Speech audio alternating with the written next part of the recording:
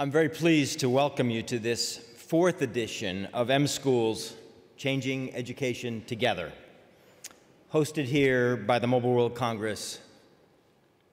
The GSMA is proud to participate in the mSchools program, an initiative of the Mobile World Capital Barcelona in partnership with the Generalitat and the City, of, City Hall of Barcelona.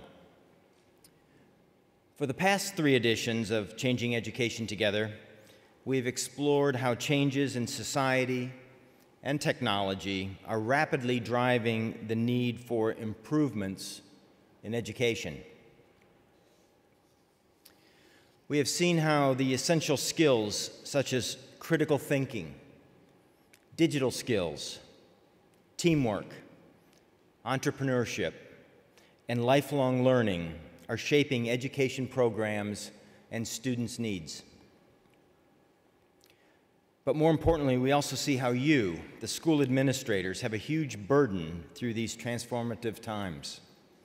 Your leadership and vision are fundamental to drive the change needed in your schools and communities. Leadership is not easy.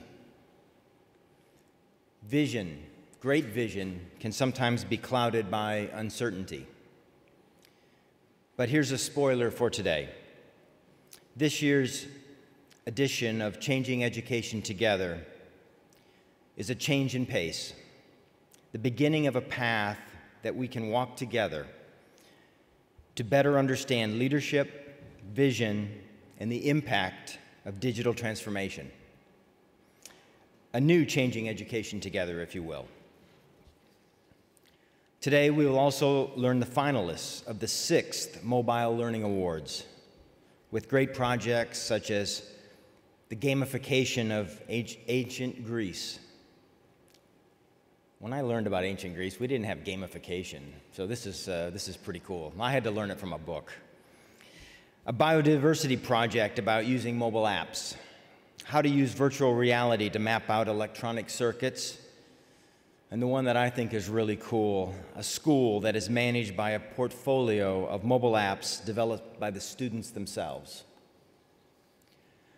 The GSMA would like to give special thanks to the Department of Education the Generalitat, the participating schools, the teachers for their hard work in making the mSchools program a success.